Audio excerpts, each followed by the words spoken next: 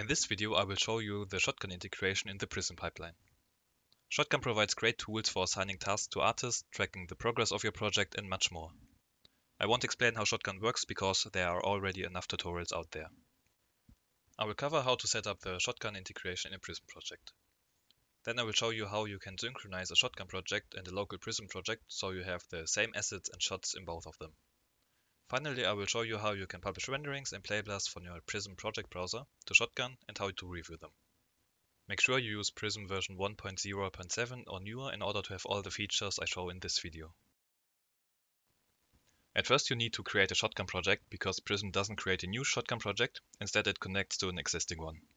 I assume that you know how to create a project in Shotgun, so I already created one for this video. In Prism you can enable the Shotgun integration at two different locations. The first one is the Create Project dialog. Here you can enable the Shotgun integration and enter the needed information here.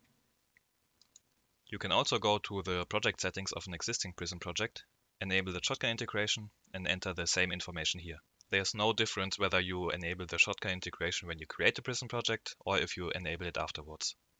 In the first field we have to enter the Shotgun site, which is the first part of the URL, which usually ends with shotgunstudio.com. Then you have to enter the project name.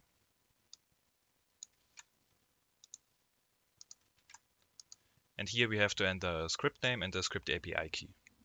In order to create these, you need to have admin privileges in Shotgun. Then you can go to the admin menu and to the scripts page. Here we can create a new script. I call it Prism Browser. We can copy the name paste it in the project settings, the API key down here. And now we can save the script. We could finish the setup now, but in this case Prism would use the script to publish renderings to Shotgun. But usually you want to publish renderings from a user account so you know which artist created the renderings.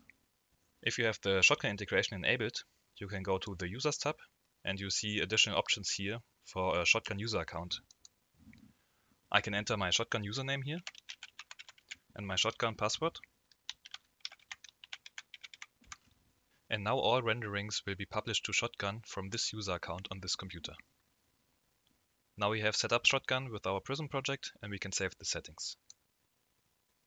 Now that we have set up Shotgun, we can open the project browser where we have additional options now.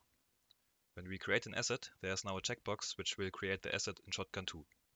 I create a character asset here. And when I right click on the asset, I can open the Shotgun side of this asset. The same applies when creating shots in the Prism project browser. When you have shots and assets which only exist in your Shotgun project or only in your Prism project, you want to synchronize both projects. In this example, I created a few shots in my Shotgun project, which don't exist in the Prism project. From the menu bar, I have now some options to synchronize my assets and my shots. In this example, I want to synchronize the shots of my Shotgun project to my local Prism project. I click this option, and now all these shots got created. The frame range in the preview image also gets synchronized. Here I am in a different project now, and I want to show you how you can publish your media files like renderings to Shotgun. I select a shot, a version, and when I right click on the preview, I can publish the currently selected version to Shotgun.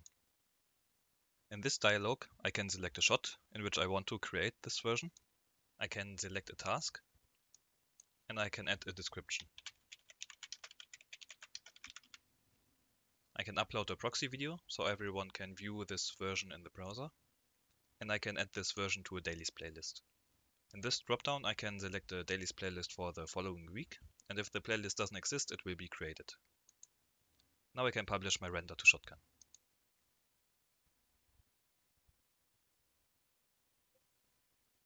The version was created, and now I can view this version in Shotgun.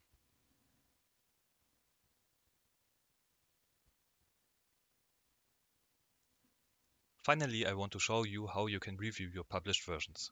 Shotgun provides multiple tools for reviewing versions, but I prefer the screening room for RV integration.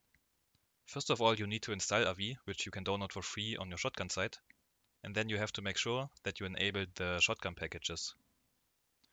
In the preferences, enable the screening room for RV, shotgun review and shotgun integration packages. Then you can go to the shotgun menu and launch the browser. On the left side, you can navigate to your dailies playlist, and in the middle, you can see all your published versions. Now you can use the annotation tools from RV and write notes. This completes the video of the shotgun integration in Prism. If you have any questions, write me a mail to contact at prism-pipeline.com. Thank you for watching.